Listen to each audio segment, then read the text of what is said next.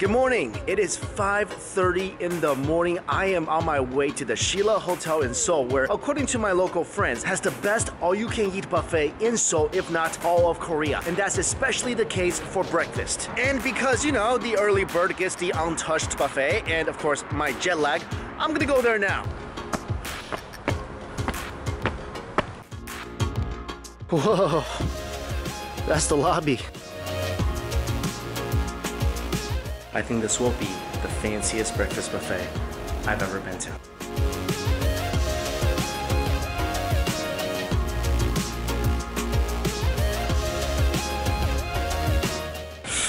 My view is so nice. Look at that. Alright, let's go scope out the buffet. This is their juice selection. Got your typical orange juice, grapefruit juice, and for the very health conscious, kale and cucumber and apple. All the fruits are so beautiful here. Homemade yogurts, because you can't buy yogurts in the pack. That just sounds civilized. This is so insane.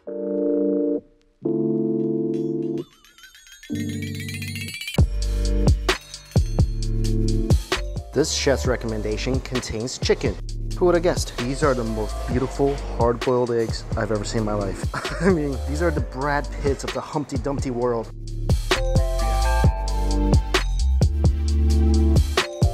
It's like these aren't just chefs working here, these are like cosmologists. I mean, even the baked beans look good. And check out all that bacon. And that is the bacon godfather. They have an entire dim sum area with someone making dim sum fresh. Yeah. Look at all this sauce. Yes, hot oil.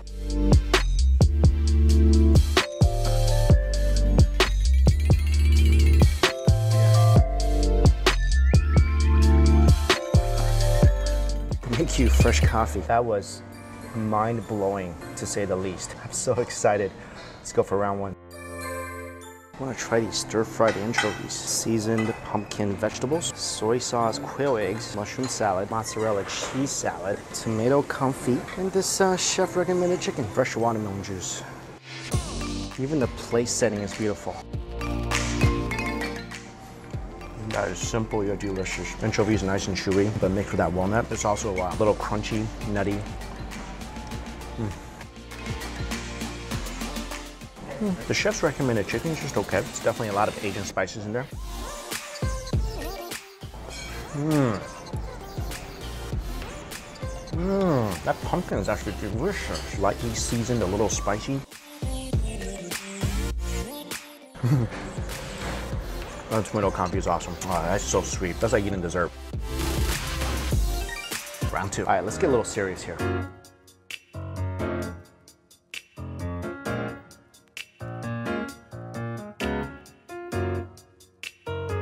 Scrambled egg is actually the best looking scrambled egg I've ever seen. Round two, I just got some basic common breakfast items just to see if they do it better than anywhere else. Felt like I just ate an eggy cloud. Seriously. That is just divine. I can't even really taste salt and pepper, but that's just fantastic. I don't have high hopes for this guy. I mean, it seems a little tough. I feel like if someone threw this at me, it knocked me out. Mm. It's okay. Barbecue chicken. I don't I don't like it that I'm eating so much chicken on a buffet. that is fan-chicken-tastic. The chicken is tender, but the thing is, when you put it into your mouth, you get this fantastic smoky charred flavor. That is a beautiful piece of chicken. Frittata, I feel like it's been sitting under that buffet lamp of death a little too long, so it looks a little dry. Ah, it's still good. Sometimes I don't like sausage, but the sausage here, you can taste the pork, you can taste the chicken. It's not overly greasy. It actually tastes, dare I say, healthy. Oh God, look at this tomato. This thing's gonna have a little mini explosion in my mouth, I know it. Mm. That all just turned to liquid after like a second. Welcome to the most beautiful egg ever. I feel like I'm one of those European aristocrats eating my egg like this, you know, on a little egg holder. It's very, very soft. A Little salt and pepper. Whoa. Whoa, I just struck gold. Oh my God, look at that. Mm, this is like the most perfect soft boiled egg. Wow, that is liquid gold right there. So creamy and delicious.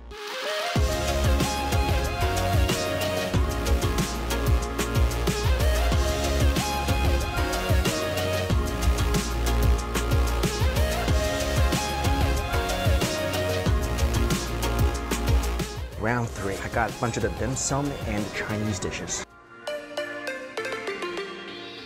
I think the shrimp shaomai has been practicing his kung fu because it's gotten really tough. This is the steamed egg. That is like a gentle massage on my tongue. Mmm. What a pleasure to eat. I just suck this up in a straw. That's how tender it is. Delicate, beautiful. This steamed egg, it, it's like an anime princess. Good. Never made that comparison before. This is a dumpling made with leeks and rice skin. Oh my god. It's it's like Spider-Man sticking to the plate. You gotta get Spidey off. that is good. That's like something you'll find in a typical dim sum place. Fried dumplings. Mm-hmm. Oh, that's delicious. The skin is just paper thin, crispy, light, not oily at all. Oh my god, this is one of the best things I had so far. This is something I don't usually like, a turnip cake, and I know I'm weird because a lot of people like this. I, I just don't like it. And this has just changed my entire impression of turnip cakes. Just seafood flavoring in that turnip cake, that's making me really happy right now. As if I could be any happier already. Something you don't see a lot for breakfast, mapo tofu. But hey, I'm an equal opportunity food lover. I'll eat a steak or pizza for breakfast, I don't care. It's actually quite difficult to make mapo tofu the right way if you're not an authentic Sichuan restaurant where you're in China. But this mapo tofu is not the best I've ever had, but it's certainly not bad. And I love stir-fried egg noodles. I love it. I can eat it for breakfast, lunch, dinner, snacks, after midnight snacks, 4 a.m. snacks. They knocked that out of the park. That ball is far, far away. Oh my goodness, that's good. The egg noodles are tender. They're eggy because there's scrambled eggs in here stir-fried and flavored to perfection. Finally, something that's really fun, beautiful little fried flour roll. Ooh, you guys hear a crack? It's good, but it needs some sort of dipping sauce. Mm. That's excellent. The layers are so thin. Hear that crunch? There was some condensed milk here. Must be excellent. So here, I put the ingredients inside my bowl, whatever I want. Ooh, I love these mushrooms.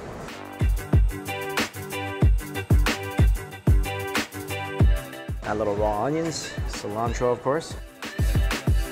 Noodle soup time. I love it when buffets have pho. I'm convinced there is a part of my body that is run exclusively on pho. And without pho, I, I just feel incomplete. Ah, the soup is good. My only complaint is they didn't have like thinly sliced beef flings. Judge me all you want, but I like sriracha on my noodle soup. Accept me for who I am, people. Oh, that hits the spot. I mean, I don't know which spot it's hitting, but it's hitting some spot. Whenever I get a bowl of pho, I can't stop until I finish all the soup. It just entrances me, and I love it. Oh, now I feel all warm and tingly. I think it's time for some dessert.